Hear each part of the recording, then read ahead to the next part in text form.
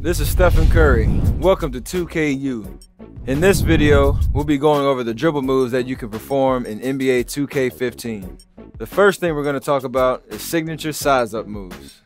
In NBA 2K15, there are about 100 signature size up dribble sequences at your disposal. You can pull off the 62 with KD, dance instructor moves with Jamal Crawford, hesitation dribbles by LeBron, Lillard's got his chop steps, and CP3 can do his circus moves just to name a few. To do a signature size up, flick the pro stick toward the hoop while you're in a stand dribble.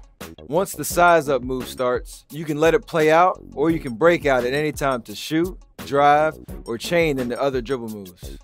This gives you an unlimited variety of ways to attack the defender off the bounce, so be creative and play off the D's reactions.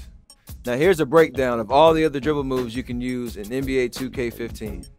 Remember, each player has a unique rhythm and a style to the way he dribbles, so it's important to get in the practice gym to tighten up your handles. By flicking the pro stick in different directions, you can perform various dribble moves. For a quick hesitation, flick the pro stick toward the ball hand.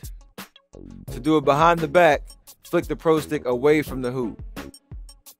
Flick the pro stick toward your offhand to perform a crossover, or flick the pro stick between your offhand and your player's back to do a crossover between the legs.